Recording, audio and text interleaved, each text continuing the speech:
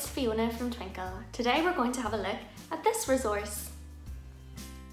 This activity booklet has a wide range of winter and Christmas themed activities covering maths, phonics, fine motor skills, and craft ideas. In this number matching task, can children read the numerals and match to the picture with the correct number of Christmassy objects? Or try this phonics activity. Can children identify and write the sounds that make up the words? And this lovely pencil control activity can children decorate the Christmas tree by tracing over the patterns?